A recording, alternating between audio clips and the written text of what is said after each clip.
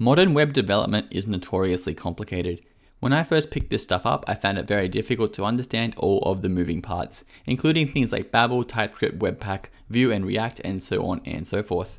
So what we're going to do in this video is try and cover off all these different tools and how they work by starting off with the most simple application possible and slowly adding each of these tools, seeing what problems they solve and what problems they might introduce.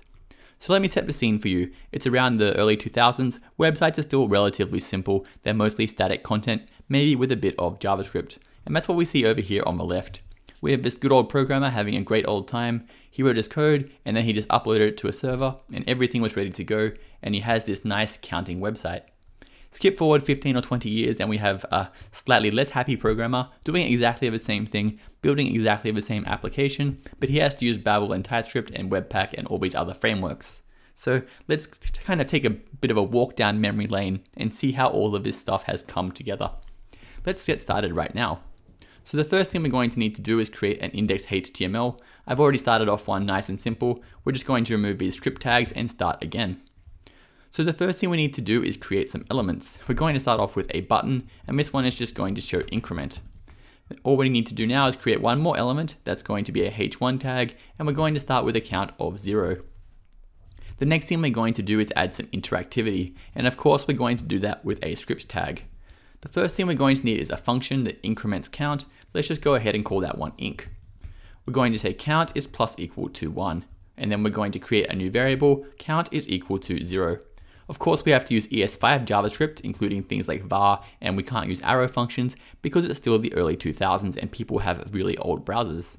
Anyway, the final thing we need to do is increment this number. So let's go ahead and give it an ID. I'm just going to call it h1 for now. And we need to make sure we increment that by saying document.getElement by ID. We're going to go ahead, grab our element, and then we're just going to increment that by saying text content is equal to count. Let's go ahead and give this one a try. So we head back to our browser and refresh the page. Uh, we can see nothing is happening because I opened the wrong file. Let's go ahead and open index.html and we have this. This is our uh, HTML file, not really what I was hoping for. Let's go ahead and try again one more time. And we have a bit of a problem. Why is it not rendering the correct content? I'm actually doing view source. That's another very old school thing to do. What I really want is just to open the file. And you can see now everything is not working. It looks like I've made a mistake. What we forgot to do was add our event listener. So let's go ahead and say on click and just call the increment function. And this is all going to work. Apparently it's not going to work because I didn't refresh the page. Now it is. So of course we haven't got hot reload. It is still the early 2000s. I kind of forgot about that. We have to refresh the page manually and everything is working correctly. So far so good, but your application is going to inevitably get bigger, and it's not very scalable to put all your code inside of a script tag. What we're going to do is move it to a separate file by creating a new file called index.js. This is going to be a fairly simple migration. I'm just going to copy and paste that one over, and that's all we need to do. Finally, we need to import this, or not really import, we need to include it by saying source and just say index.js. If we did everything correctly, we can see the website is still working. So far, so good. As websites get bigger, it's obviously not very scalable to put all your tags inside a single body as well. So what we're going to do is move these out. And there's not a great way to do this other than moving this from HTML to JavaScript. So that is exactly what we're going to do by creating a new file or actually using the existing file called index.js and moving these over there. We are going to need, a, need to write a little bit of JavaScript. Just to save a bit of time, I prepared a utils file, and this contains a single function called createElement. It's going to take a type, for example, a div, an ID, some content, and some events. All we're going to do is create the, uh, create the element. We're going to assign some values to it. We're going to loop over these using object.entries. This is some very new JavaScript, so we're going to have to find some way to make it work in old browsers. Add the event listener, append the element, and then return the element. So let's go ahead and see if we can get this working. The first thing we need to do is create our button. I'm going to say var, and we're going to make a new button here, and this is just going to be equal to create element, which is going to be globally available. It's going to be a button type, it's not going to have an ID, it is going to have some text, let's just say increment for now, and it's going to have some events as well. Uh, this one's going to have a single event of click, and what that's going to do with an arrow function, by the way, so we don't need to find a solution to that arrow function problem, is increment the value by saying uh, inc. Finally, we need to create one more element, which is going to be our h1. We're going to use var again for h1, it's going to be a create element of h1 with an ID of h1, and the content is just going to be uh, zero. Now that we have that, everything should hopefully be working. Let's go ahead and try it out. If we head back to index.html, we have our index tag already. All we need to do is include the utils file as well, and everything should work as expected. If we head back to our browser now and we did everything correctly, it is all still working. We do have to be quite conscious of these two. Sometimes the order of scripts is going to make a big difference, and that's a problem we're going to solve later on using a tool called Webpack. Before we use Webpack, what we need to do is find a solution to our ES5, ES6 problem. I'm using an arrow function here, which is not going to be valid in ES5 JavaScript, the same JavaScript everyone is using in the world because we have old browsers because it's the early 2000s still. And we have another problem in utils as well. The problem here is we're using object.entries, and this is not valid ES6 or ES5 JavaScript. We need to find some way to make this into valid ES5 JavaScript. And that is where our first tool comes into play, Babel. Babel is a JavaScript to JavaScript compiler. It's going to compile uh, JavaScript to maybe an older dialect of JavaScript, for example ES6 to ES5. So let's go ahead and see how that one works. The first thing I'm going to do is, uh, I already installed everything, so I'm just going to say yarn babel, and we're going to transpile index.js into ES5 JavaScript. We're going to pass in a preset, and that's just going to be a preset uh, environment of JavaScript. In this case, I'm going to use a very specific one, which is going to be at babel slash preset env. And I believe this is the correct syntax. Let's give it a try and see what happens. And you can see that did actually kind of work. What it's done is add all of these semicolons for us, and it's also changed everything from const to var. Finally, we haven't got our arrow function anymore. We now have the function, so this is going to be valid ES5 JavaScript. Everything is working correctly so far. The next thing we need to do is go ahead and actually put that into a file. So that's exactly what I'm going to do by just go and copy and pasting it. We're going to create a new file called es5.js just to make sure we remember. And this is going to work in any old browser. Finally, what we're going to do is transpile one more file, and that's going to be our utils file. And this one is going to be a whole lot more messy.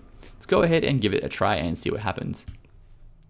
So this has generated a very huge piece of code you can see we have this iterable to array limit function, we have array to array like function, we have unsupported iterable array, and a whole bunch of extra code. The reason this is here is because of one specific function, object.entries. This is not valid uh, traditionally, so what they've done is actually polyfilled this. They've created a bunch of other functions to support this. So we're going to be able to use the same JavaScript syntax when we write our code, but it's going to transpile to something very different, which is why we end up with all of this extra code. That's kind of a necessary evil if you want to use uh, new JavaScript in old browsers. Anyway, with that in mind, what we're going to do is pipe that one into utils.es5.js just to make sure we can actually use it. Let's go ahead and just uh, delete this extra code. There's two extra lines here and make sure this is still working by heading to index.html and updating our code. All we need to do is say es5.js in here. And if we did everything correctly, uh, we're going to have an error apparently. See if we can fix that one up. It says identifier started with immediately after numeric. I have no idea what that means. I have this extra code down the bottom. Let's just go ahead and quickly fix that one up. Uh, come down here and delete that code. Let's give it one more try, heading back to our browser, and everything is still working. But now we're confident that it's going to work in old browsers because of Babel. So we've definitely made an improvement. The next part of this puzzle is going to be something called Webpack. So let's see how that one works. We currently have another problem and that's we're going to have all of these script tags and it's very hard to share data other than making everything global, which is obviously not a very good idea. What would be really nice is if we could compile these into one single script. So let's go ahead and do that. I've already installed this one, but I'm going to create a new file called webpack.config.js. And this is something known as a bundler. It's going to take all of your files and bundle them together into one single file. And it's also going to give us ES modules so we can import, import, import and export variables so we don't end up with this mess of all these global variables. Now that I've created this webpack config, we're going to do a export in here, module.exports, and just set up some very basic configuration. We're going to have an entry, which is where everything starts, in this case, index.js. And this is all I'm going to do for now. Let's go ahead and save it off and give this one a try. I'm going to say uh, yarn webpack, pass in my config file, and that's going to webpack config.js, and run this one and see what happens. I'm actually going to set this one to mode development just so you can see what's going on. It's going to make the code a tiny bit more readable. And if we do an ls, I have a new directory, dist. if we go into dist inside of main.js, which is what it created, we have this big file. And you can see it's actually put both of our files uh, in here. We have index.js, and here's all of our code on one line. So it's kind of working, I, I suppose. If we keep on going down, we can see that's the end. We haven't got our util file here. What we need to do is import and export everything. At the moment, we have this create element function, and we have no way to actually access this one. What we're going to do is head back to index.js and update this one. So we'll close this one off, head back to index.js, and I'm going to import my function. So we're going to jump up here and say import create element, and that's going to come from utils.js. Now that we have that, we can head back to utils.js and make sure we're exporting that one. And now we have a big improvement.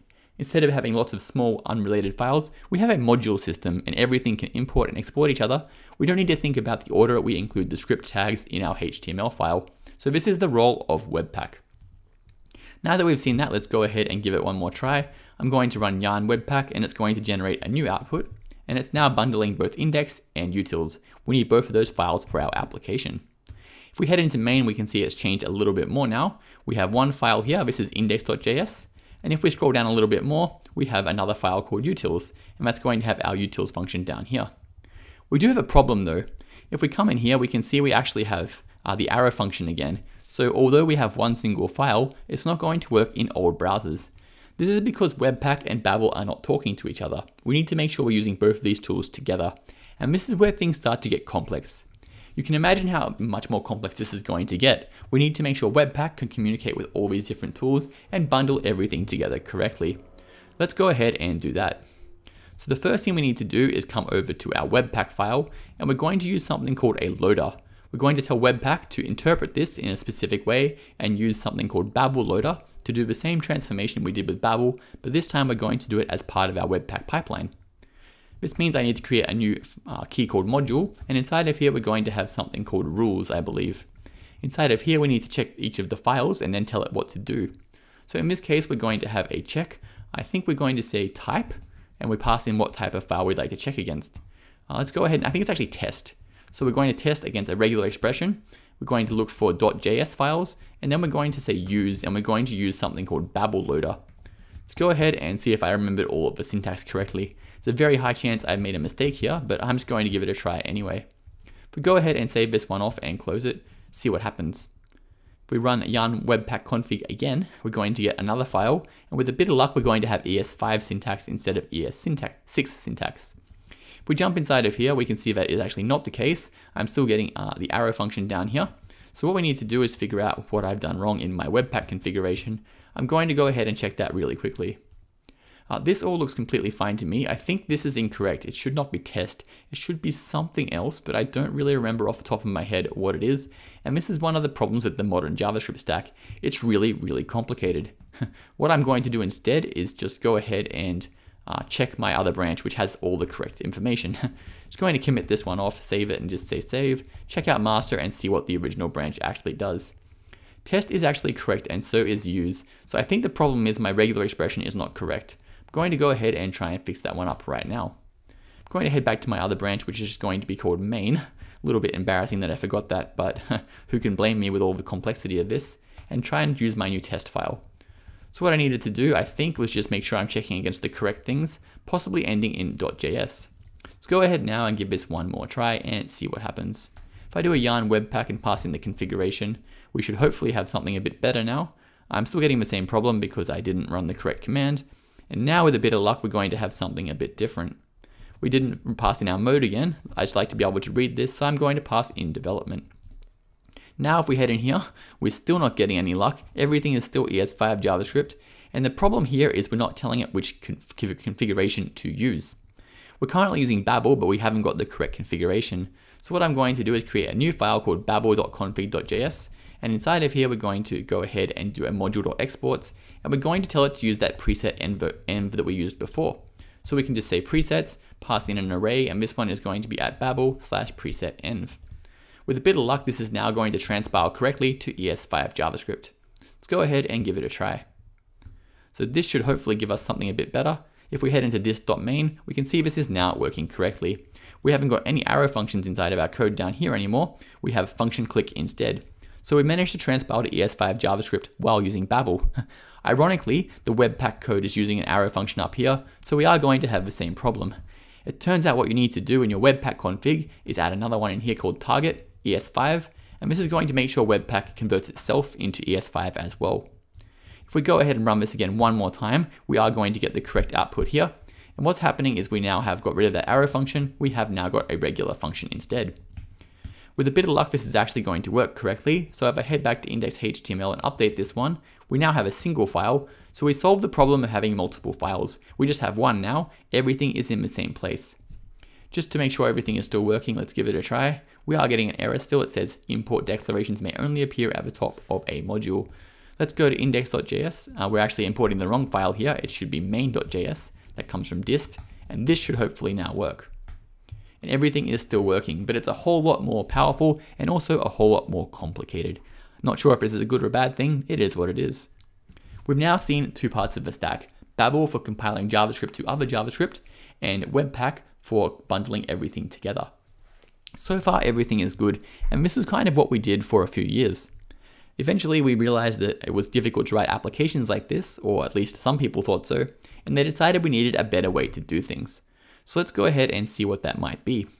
They decided we needed something called React. So let's go ahead and check that one out. if we head over to index.js, this is our entire application right now. What we're going to do is convert this to use React. So the first thing we're going to do is import a few things. Let's go ahead and grab React from React, and we're also going to grab React DOM from React DOM. Now you might expect me to start writing some JSX, but that is not going to be the case at all. This is not how React started, it was uh, not always using JSX, and we're going to see how that works without JSX right now. So the first thing we're going to do is create a new uh, new function. I'm going to call this one app. you would have tradi traditionally used something like react.create class, but we're going to do it using the new syntax. Let's go ahead and create a new count and a set count. We're going to use a hook, which is for state, and we're no longer doing imperative updates. We're using React to update automatically using their reactivity. We're going to say react.useState inside of here and set that one to be zero by default, and then we're going to return something. We don't have JSX right now. What we're going to do is say react.createElement and create a new element. I'm going to pass in a div here for my first one, and that's going to have an array of children. We're not going to have any props, so let's go ahead and pass an empty object here. And the first thing we're going to go ahead and create is going to be our button. Going to have a button, and this one is going to have props. The prop is going to be on click, and when this one is called, it's going to just go ahead and say uh, set count and increment count by one. Now that we have that, we're going to need some content. I'm going to say increment. And this is uh, pretty difficult to read, and that is kind of the idea behind JSX, which we're going to see in just a moment. Anyway, now that we have that one, we're going to have one more element, so let's go ahead and copy paste this. This one is going to be our count. It's going to be a h1, and inside of here we're going to have our count. Let's just go ahead and render our count down here, and we're not going to have any props, so I'm going to delete that one. Now that we have this, we have to mount our application, so we're going to say react dom.render, and render out our application. The first argument is going to be, I believe, the application. So let's go ahead and pass in our app. And that means you have to do react.createElement again, a very convoluted, passing in app. And the second one is going to be where to mount it. So I'm going to say document.getElement by ID and grab my element by ID. In this case, I'm going to call it, let's say, app. And we're going to need to create that one as well. So let's head over to index.html and create it. Let's go ahead and create that one. I'm going to call it div ID with app go ahead and instantiate it. Finally, let's give this one a try. With a bit of luck, this is actually all going to work. So what we're going to do is we're using React, we're not using JSX, and we're going to bundle this all up, and with a bit of luck, it's going to work. Things never seem to work first try though, so I would be surprised if it did. Just go ahead and compile this. You can see that was a lot slower because React is a very big library. If we jump into dist main, this is where things start to go uh, kind of downhill. It is no longer possible to read the output of Webpack. This is just impossible. It's this huge mess, and if there is a bug in here, good luck finding it. Anyway, let's go ahead and try this out and see what happens. We can see everything is still rendering, and somewhat surprisingly, everything is still actually working correctly. I didn't make any mistakes. We do have this error or this warning. I'm going to ignore that one for now. We're now doing exactly the same thing with a whole lot more complexity under the hood. So now we've seen another part of the stack. We've seen Babel, we've seen Webpack, and we have seen React. But things are still not complicated enough. The next thing people realized was it's very hard to write this syntax. It's kind of difficult to read. It's so JavaScripty now, let's head back the other direction to HTML. And they did that by using something called JSX. And that is what we're going to do now. To start off, I'm going to go ahead and move my file. Actually, I'm going to copy it just in case, uh, index.js to index.jsx now, and I'm going to rem remove the original file. Finally, let's go into here and convert this one to JSX. And this is going to be fairly simple. We're just going to have a div in here, and that's going to be a button with an on-click listener. And as you can imagine, this is going to do, it's just going to call that event. So we're just going to say set count, count plus one. Now that we have that, we just need to go ahead and render, let's say increment down here. And then we're going to close off our button. This should be a button, not a div. And then we're going to create our final one, which is going to be that H1. And things are now heading back the opposite direction. We started off with all HTML, then we moved all the way to JavaScript, and now we're sort of heading back to HTML. A little bit ironic, but they say things come in cycles. Anyway, with a bit of luck, this is now going to work. This is a fragment, so we use the very awkward fragment syntax. You have to have a root, and if that's going to be a fragment, there's nothing, nothing you can do about that. Let's save it off and see if I didn't make any mistakes. If we head back here, uh, this is still working because we didn't even compile Webpack. Let's go ahead and try and compile Webpack. And we are of course going to get an error here because we changed the name of our, our input. This should now be JSX. And we're now going to check against JSX files as well and see what happens. Let's go ahead and try again one more time. And of course, this is going to fail as well. We're attempting to compile JavaScript, and this is certainly not JavaScript. We need an extra preset. What I'm going to do is update Babel config, and we're going to pass in a different preset. We now have two presets. We have ES5, and we're also going to have React. So things are getting more and more complex, more and more layers of complexity. Welcome to modern web development. Anyway, that did indeed compile, and we could go and look at the main.js file, but there's just no point. This thing is completely unreadable at this point, so let's just give up on that and hope for the best. If we head back to our browser, everything is still working. Our error is gone because JSX does some magic under the hood, and we are definitely uh, still making the exact same app, just with more and more uh, layers of complexity. Anyway, this was kind of where we were for a few years. Everyone was somewhat happy with how things were working, or at least they weren't unhappy, but then we realized JavaScript is not that great because there are no types. What if we had types? And that is where the final part of this puzzle comes in, TypeScript. And by extension, TSX. So we're now going to have typed JSX, which is a derivative of JavaScript kind of. So let's see how that one might work. The first thing we need to do is change the name of the file again. So it's now going to become index.tsx. And we're going to go ahead and update this one now as well. We haven't got many types here, but we do have one. This one is going to be a number via this generic. Now that we have that, let's go ahead and try and compile this again. We're going to have to update our Webpack configuration again, and this one is now going to become a TSX. Let's go ahead and try this out and see what happens. Just to save a bit of time, I'm going to run yarn webpack in watch mode, and that's going to give me exactly the same thing, but it's going to do it automatically every time I save off, my file. We're going to put this one mode in, let's just say development for now and then we're going to go ahead and say watch. And this is going to run automatically. this is actually going to fail. We have an error. See if we can figure it out. This is the wrong name. It should be TSX. If we try again, we're going to get a, apparently not going to get an error, which is kind of surprising. Let's go ahead and try this out. You can see this is completely broken. It says number is not defined, and this does make perfect sense. If we head back to our file, we have this generic type here, and this is not part of JavaScript. We need to use a TypeScript compiler as well. So now we have two compilers, TypeScript and Babel. What this means is we need to update our Webpack configuration. We're going to have an additional way to compile. We're going to use another loader that's going to be called TS loader. So we're going to convert the TypeScript to JavaScript and then JavaScript to ES5 JavaScript. Let's go ahead and give this one a try. With a bit of luck, this is going to work. It is even slower now, but that it is what it is. We have a different error now, which is to do with React not being defined. Again, this is very confusing and very difficult to debug unless you really know what's going on. It turns out you need to either configure TypeScript or you can just go ahead and say import all as, and this is going to fix our problem. Finally, everything is working again. And now we're in a pretty good place, at least in terms of the modern stack. We've seen Babel for compiling, we've seen TypeScript for compiling, we've seen Webpack for bundling, and we've seen React for the actual UI layer we have managed to merge both our JavaScript and our HTML into a single file. You might think this is the end, you're sorely mistaken. What if we go ahead and merge some style in here as well? And it turns out that is possible. I'm going to create a new file called index.css, and we're going to give this one a color of blue. Of course, what you could do is just import this to index.html like any sane person would do, but we're not sane, we are insane, we are modern web developers, so of course we're going to import everything into exactly the same file inside of here. I'd like to import my CSS into my JavaScript file, or my TypeScript file, or my TypeScript SX file, I suppose you would call it at this point. Anyway, this means we're going to need another loader, so let's go ahead and create one more extra loader, and this is going to be the last one that we create. We're going to need two things inside of here. We are going to need CSS loader to load the CSS, and we're also going to need something called style loader to make it inject to the document. Let's go ahead and finally give this one a try and see what happens. Hopefully we're not going to get any errors, we actually are, and this is another kind of symptom of modern web development. It is incredibly confusing and difficult to figure out what the heck is actually going on here. I think these might be in the wrong order, so I'm going to go ahead and try them in the opposite order.